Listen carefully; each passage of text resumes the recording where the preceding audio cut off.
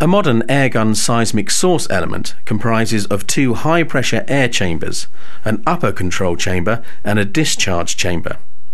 High pressure air, typically at 2,000 to 2,500 pounds per square inch, or PSI, is supplied to the upper control chamber from the compressor on board the seismic vessel via an air hose and slowly moves into the lower discharge chamber through an opening in the shuttle assembly.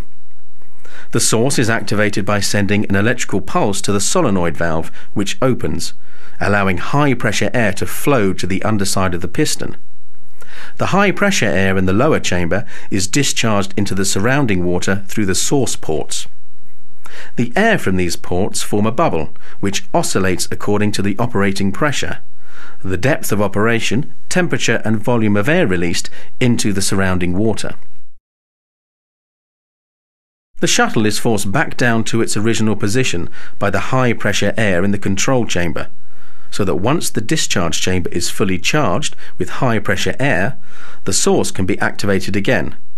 The opening of the shuttle is very rapid, taking only a few milliseconds, which allows the high pressure air to be discharged very rapidly.